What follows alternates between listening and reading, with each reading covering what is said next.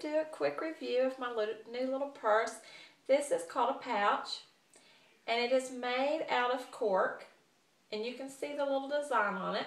And I got this at a little place called shopcorkdesign.com and the strap is a long strap but it does not adjust.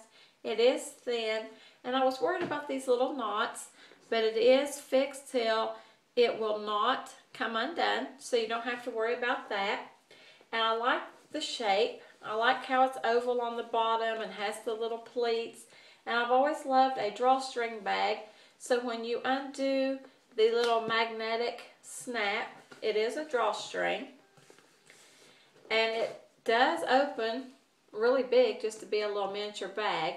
And it does have a zip compartment on the back, but that's the only pockets that's in this bag. And I have like all my little essentials, small wallet, makeup bag, tissues, things like that. But I just want to see how cute it is.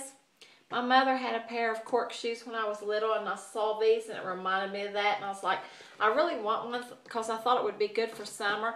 And it's really lightweight. You don't have to worry about being heavy.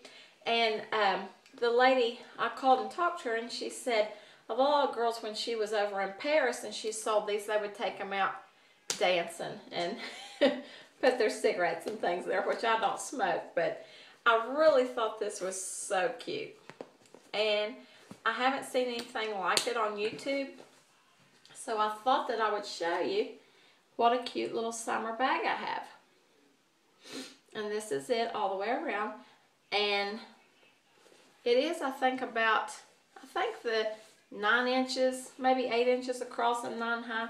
So it's not very big, but it's the perfect little bag when you go out shopping or to a movie or anything. So, thanks. Bye.